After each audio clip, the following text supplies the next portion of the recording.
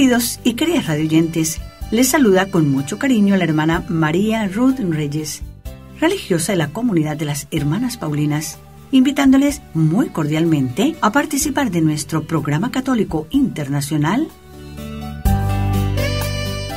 Santos de ayer que edifican hoy.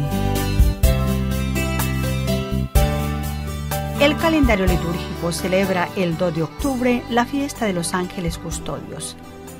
Casi todas las páginas de la revelación escrita, dice San Gregorio Magno, dan testimonio de la existencia de los ángeles.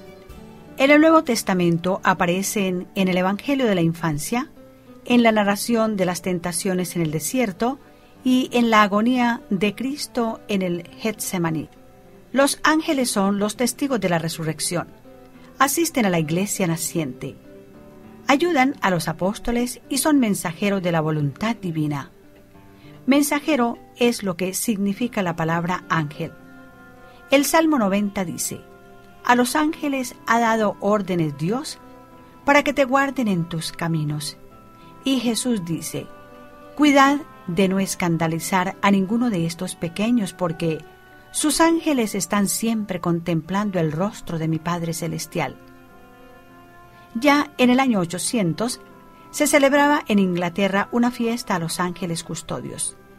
Existe una oración muy bella que todos hemos aprendido de boca de nuestros padres.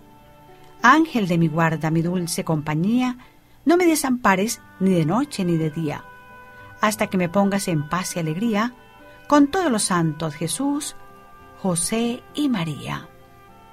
La liturgia del 29 de septiembre, que celebra la fiesta de Miguel, Gabriel y Rafael los arcángeles, recuerda al mismo tiempo a todos los coros angélicos.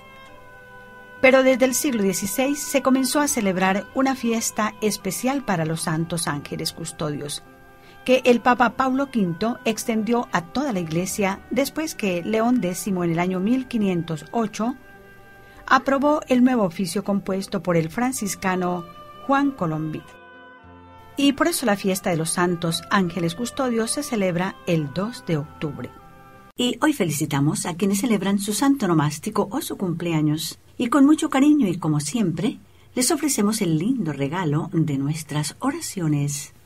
Y por hoy, llegamos al final de nuestro espacio católico internacional, Santos de ayer que edifican hoy. Este programa para nuestros queridos y queridas radioyentes de Radio Paz ha sido preparado con mucho cariño por las hermanas Paulinas.